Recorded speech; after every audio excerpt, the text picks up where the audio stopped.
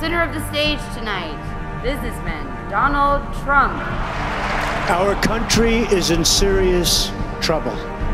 We're having people coming in through the border that are not people that we want.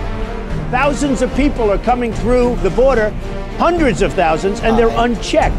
And then they're being sent all over the United States. We don't even know where these people are all coming from. They're coming from all over. They're coming from South America. These are total killers. These are not the nice, sweet little people that you think, okay? We have no protection. Anybody can come in. It's very easy, and it shouldn't be that way. We need to build a wall, and it has to be built quickly.